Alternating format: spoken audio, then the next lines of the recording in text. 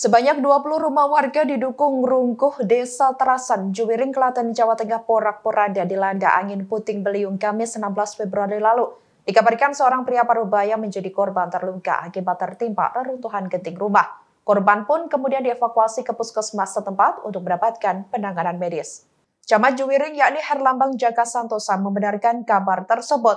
Ia mengatakan puluhan rumah warga terdampak akibat angin puting beliung. Dijelaskan olehnya, angin puting beliung terjadi sekira pukul 14.10 waktu Indonesia Barat.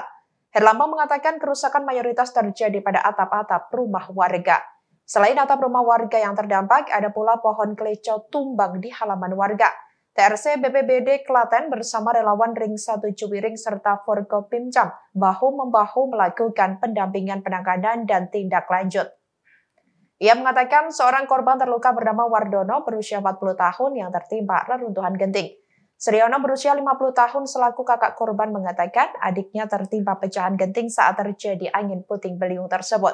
Dikatakan olehnya korban mengalami luka di bagian kepala dan harus mendapatkan penanganan sekitar tiga jahitan. Meski begitu, sampai berita ini diturunkan pada Jumat 17 Februari 2023, belum diketahui pasti berapa total kerugian akibat bencana alam tersebut.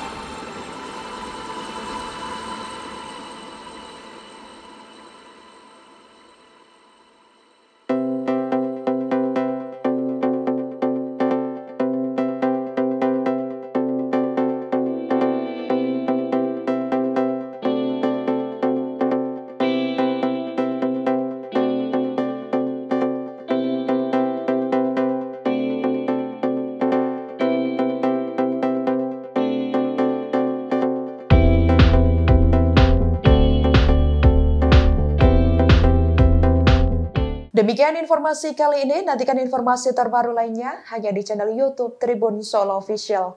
Terima kasih sudah nonton, jangan lupa like, subscribe, dan share ya!